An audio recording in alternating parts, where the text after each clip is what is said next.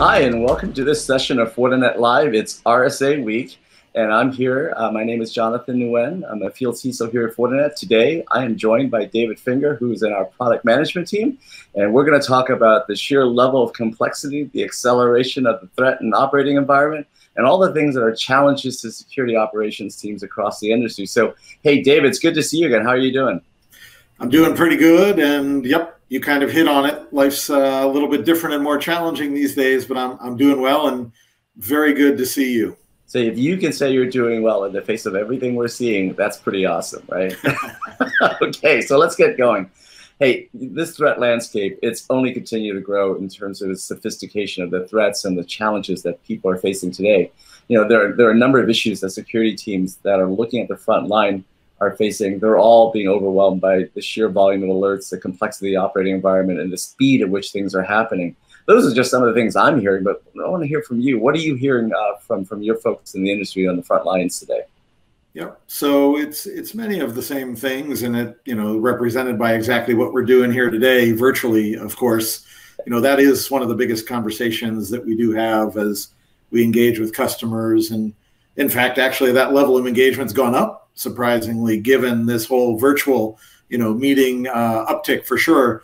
But it is exactly that. They're they've got employees that they sent home rather abruptly in many cases, and did a great job scrambling to to make that happen. And they didn't realize how long that would be the state of things. And so, from an endpoint perspective, in particular, you know, they're out of sight but certainly not out of mind for a lot of these security teams, but trying to keep their hands around where they are, you know, what state they're still in, what has the end user done, um, have they still maintained the security configuration and patch levels and all those things that are necessary to keep them safe from, you know, the constantly evolving threat landscape. So that is one of the biggest conversations uh, yeah. we have today is, is, you know, really remaining secure despite um, this increasingly new, you know, what's looking yeah. to be a new work style.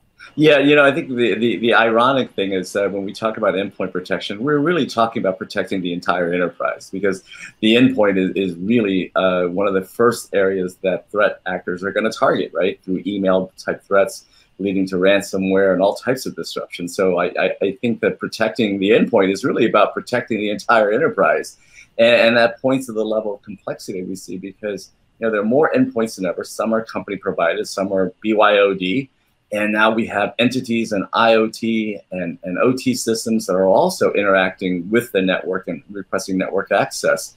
And so when, when you see these things, what are you hearing from organizations? That, what are their best practices as they go about addressing these types of challenges here? Yeah, so certainly the end user awareness and training remains as high as it's ever been, yeah. uh, without question. But I do find that one of the common pieces of advice that we continue to remind them, and, and probably you do the same, Jonathan, is let's start with the basics. Yeah. Right. There's still foundational security practices that are more important than ever. Maintaining patch levels, maintaining security configurations on these endpoints, understanding we might need to grant more end user power, you know, given that they can't just walk down the corridor to the help desk, but at the same time, there are degrees of control that are that are very necessary. So really, you know, don't forget the basics, even yeah. as it is necessary maybe to do some upgrades and move into a more modern endpoint security posture. And it sounds pretty simple, right? All you've got to do is piece of cake. implement those simple to intermediate controls across thousands of endpoints all working in millisecond SLAs. And, and so one, one of the things I often say is like, yeah, so it seems so intuitively simple, but to the operator, the SOC teams, you know, there's a significant challenge because you can't really secure or protect what you can't see. And, and I think with this proliferation of devices working from not only the home environment, but hotels, on-net, off-net, uh, how do you ensure that you've got visibility across? I think that's where the, this notion of having a security fabric really becomes uh, in, into play. It's the ability to understand a very broad operating environment in an integrated way um, so that you can address those those simple things as it were. And, and I think that's the heart of it, right? So if you look at, at, at our FortiGuard research and any reputable body in the industry, it still points that we're failing on on security hygiene, simple intermediate controls. And I think it goes to the fact that the issue is pretty complex and it's very distributed and it's getting more complex and it's accelerated And I think security teams are having a really hard time uh, to protecting such a broad environment if they really don't have visibility end to end or edge to edge across that that LAN, that WAN, that data center, and that cloud edge, right? So, you know, from that perspective, I, I think I'd like to get your thoughts about, you know, Fortinet's view on, on endpoint solutions and, and how we go about addressing those types of challenges. Yep.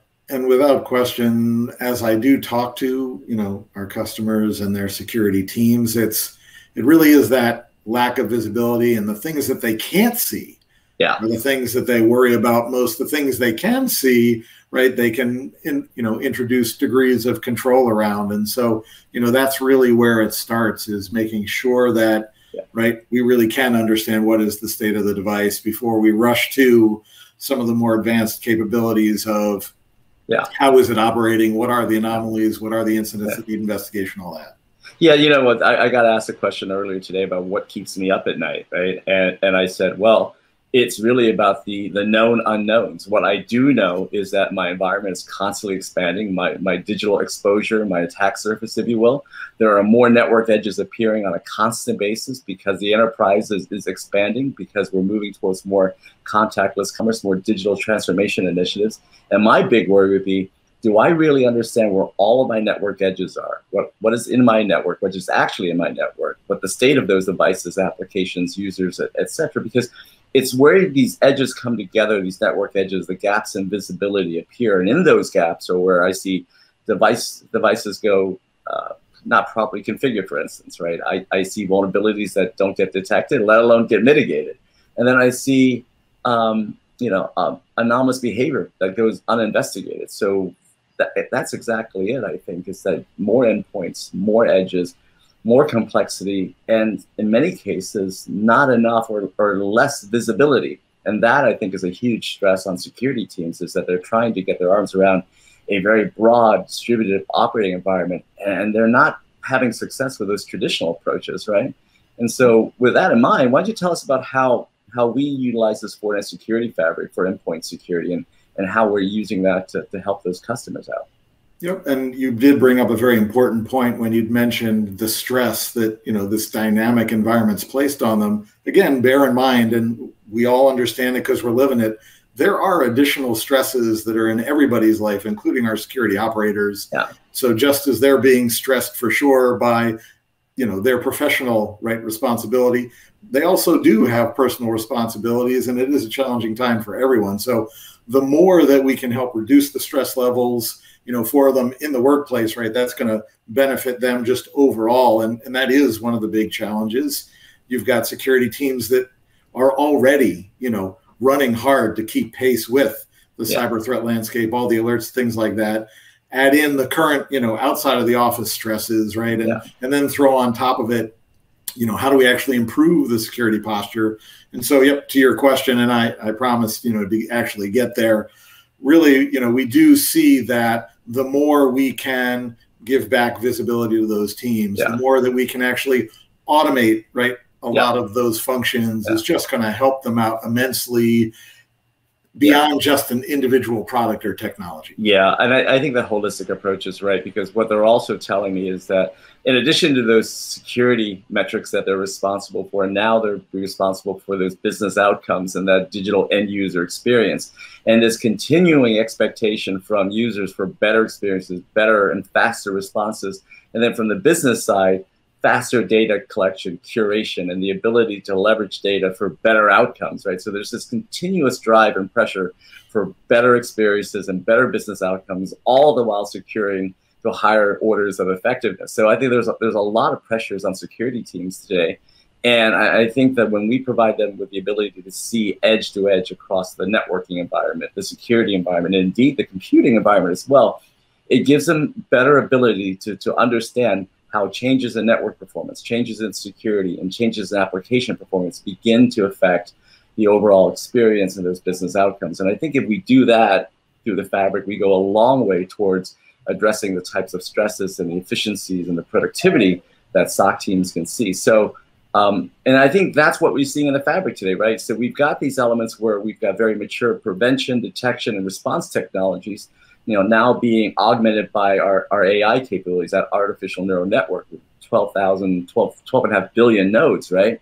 Through which we begin to accelerate that collection curation of information. And in that way, we take predictive and proactive steps. I think that's the key whereby we begin to anticipate and better respond. And I think that when we do that, we get to that promise of what we used to call, back in the old days, we called it a self-defending network, if you remember that, right? But I think now, because that automated capability, we're getting there. And that's that's becoming more of a reality today than ever because it leverages the same concepts as IoT, the ability of, of integrated technologies to collect and share information to make semi and fully autonomous decisions. So I think that's the good news is that I think we're on the cusp of, of some pretty dramatic changes in the way we approach security operations. So last question for you. Um, well, and I just jump on the autonomous yeah. bit because I think that's very relevant, you know, both in the security ops center and as well as out on the endpoint, right? That yeah. that device really does need to be able to, you know, understand the behaviors and the activities that it's seeing on the device that it's protecting rather than just waiting for a traditional right. update of threat intelligence, right, to become yeah. much more durable in terms of the protection. Yeah. In fact, um, you know, it was not that long ago, right, that MITRE released the ATT&CK evaluation results, which right. you know was a, a great you know insight into not only the you know tactics and techniques of the adversaries they were emulating, but also the endpoint security products that were being th- put through their paces to understand how much how many of these tactics and techniques can they not only detect yeah. but with the introduction of the new protection you know evaluation category yeah. How can they actually translate that actionably into protection without going through that traditional response process so super yeah. powerful super important it, it is huge you know i was i was talking to Nirav Shah about, about secure sd-wan and that ability to understand how network performance needs to shift to you can reconnect connections, create new connections, shift to an alternate WAN access methodology, right? To understand the criticality of that application, to ensure you have that optimized uh, network performance, and at the same time, understand how network performance changes require changes and adjustments on the security front and likewise on the compute, all of which needs to happen seamlessly in the background, right? In sub millisecond SLAs, really tight tolerances, so that it's seamless to that user that's continually expecting better results and better response time. So yeah, I, am actually pretty pretty jazzed about what we're about to uh, to see in our industry. Sure. Um, yeah, so cool. Um, last question, going into what we're seeing today, what's in the news. Critical national infrastructures are have always been a major target for for threat actors, right? And I, and I see that now. I see the cascading effects because we're a much more interconnected uh, society and, and, business environment more so than ever. Where just about every business is really an IP-enabled IT shop. You know, we, those are dependencies now. Uh, I don't think we should talk about brick and mortars because even brick and mortar shops are really digital businesses now, right? Um, yeah. So, so what are your thoughts about how we leverage the fabric and endpoint protection to uh, help better secure the critical national infrastructure? Yeah. Well, you know that is a, a, different infrastructure even though as you'd mentioned it's becoming increasingly connected just like the it side of the house but you know there are very important differences from the age of those systems right we know a lot of that infrastructure by design yeah. is supposed to live 20 and 30 years and run older versions of operating systems that it you know moved on from a while ago so how do you secure that? You're going to need modern endpoint capability yeah. that can deploy on legacy systems, for example. So yeah. it's a very different but critically important world. Yeah, I, I think the major issue uh, here, as you point out, is that overlap between IT and OT systems. And what it really points to me is visibility. You really need to understand what's actually operating in your network in order to make decisions. I think that's where the perspective changes. You know, the, the attacker works from the perspective of that after establishing reconnaissance and persistence and, and, and working around and rooting around a target's environment, they understand what's actually there, its actual configuration, its current state. Whereas the operator, in many ways, because of a lack of visibility, you know, works from the idea, of the presumption of what should be there. And I think a lot of stress, and we all know this as, as operators, is that the difference between what is actually there and what we believe to be there is often where things go wrong. It's where things are, are, are exploited and leveraged for, for bad, bad results. So I think moving forward, the ability to truly have edge to edge uh, visibility and control. That cross platform, the cross domain visibility is going to be key. And I think that's one reason why the fabric is so so unique. So uh, hey, I know time is short. It's it's already late in the day, uh, and let me give you a closing thought or two, and then yeah. kind of get your take on it if you don't mind. Um, no. You know, I, I think back to my family, and I always like to kind of you know bring things into a personal context just to make it a little more interesting, right? For my older son, right, this is a guy whose eyes are much bigger than his stomach. So there's constantly a discussion of only take what you can eat, right? And I think the same is true for security, right?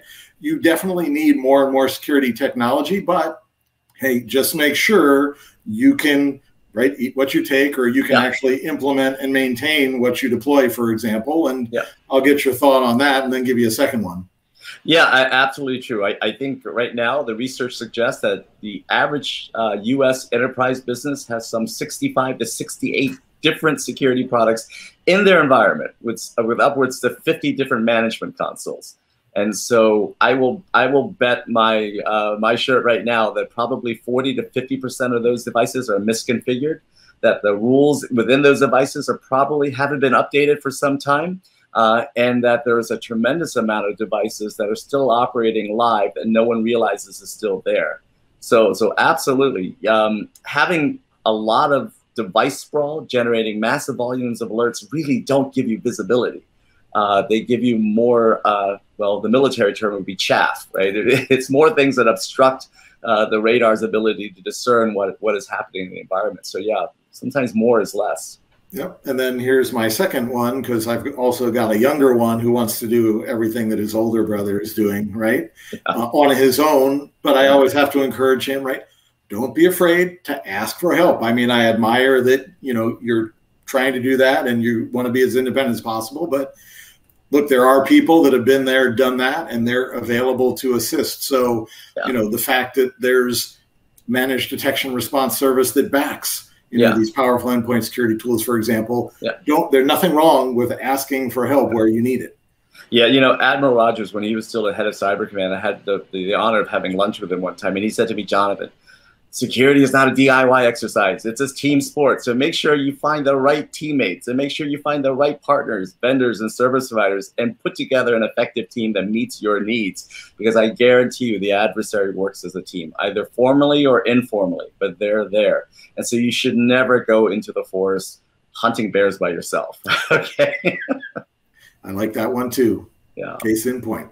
Yeah. So, you know, we're, we're at the cusp of a new week. Uh, it's another RSA event um, many ways, a lot of new things, but in many ways, we're still talking about things you and I have been talking about for, I don't know, at least a decade now, right? Simple intermediate controls, multi-factor authentication, a rigorous approach around vulnerability management, right?